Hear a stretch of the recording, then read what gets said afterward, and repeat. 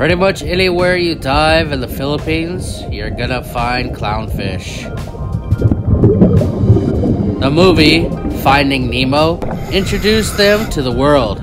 But did you know there are actually many different species of clownfish?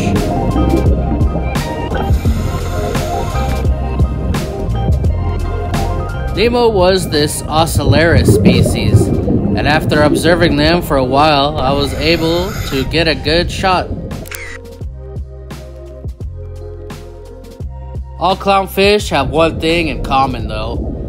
They all live in sea anemones, of which there are many different species as well. This one being a Heteractis anemone.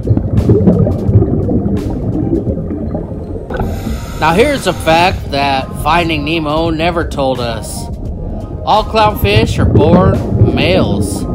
Once the dominant female dies, the male will transform itself into a female and take over the hierarchy.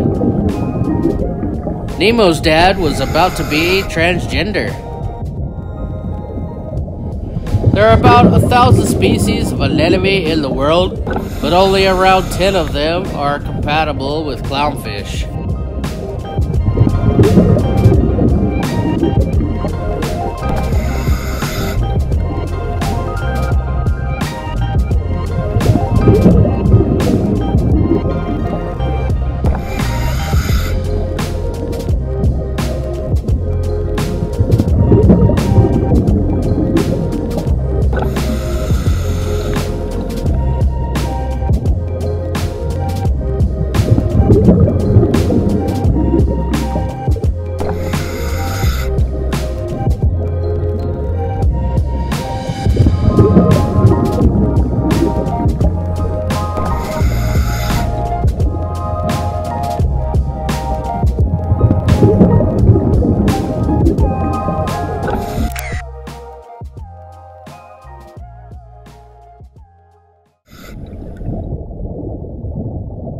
Clownfish aren't the only critter that enjoys the protection that anemones offer.